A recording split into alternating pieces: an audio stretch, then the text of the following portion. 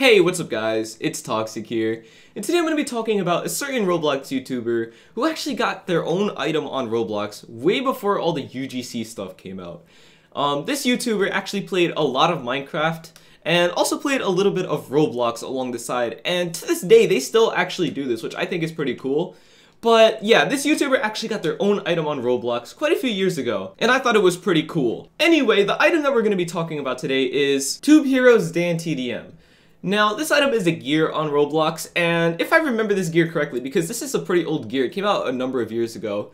Um, if I remember correctly though, you, you could literally just put it in your hand, you put it down, and it just like followed you around. I don't remember Actually, I'm going to take it in-game and try it out because even though the scripting might be broken, I still think it's worth trying out. Because honestly, I don't even remember how this gear worked. I'm pretty sure it was just him following, but I think it's worth checking out in-game. So now we're in-game, and at the bottom you can see we actually have the gear.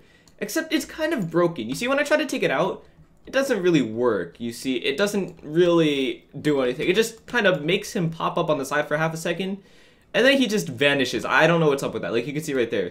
Um, but if I remember this gear correctly, pretty much all you did was, it was just the little figure of Dan TDM, and you would just put it down, and then it would just follow you around. I don't remember it doing much else. But if we take a look at the description, you can see that I'm pretty sure that's what it was meant to do, considering the description says an unparalleled scientist, inventor, and chemist to come on your adventures with you. So it pretty much sounds like it was just a gear that just followed you around and really didn't do much else. And something else that I think that is really cool about this item is the fact that it's actually a gear, which no UGC creator has access to right now. I'm pretty sure they could only make, you know, hats and all that, and not even like all types of hats. I think it has to be like you know, hair or like hats that go on your head or, you know, swords on your back or whatever. I think they're very limited still, and they can't even make gears, which makes this even more special because to this day, this is still the only YouTuber gear, if I'm not mistaken. Maybe there's another one I'm forgetting, but if I'm not mistaken, this is the only YouTuber gear out there. And again, I think that's just really cool and adds to the whole thing. But yeah, this item is pretty much the only Roblox YouTuber gear and the first, you know, Roblox YouTuber item on the Roblox catalog. And I thought that it would be pretty cool to take a look at it, considering now any YouTuber can go on the catalog and just upload their own hat if they're part of the STAR program.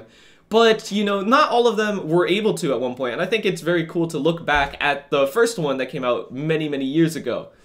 But yeah, that's pretty much it for today's video. Thank you guys so much for watching. Let me know down in the comments, do you guys have this item? Um, but yeah, that's pretty much it for today's video. Thank you guys so much for watching. I'll see you guys next time, and goodbye.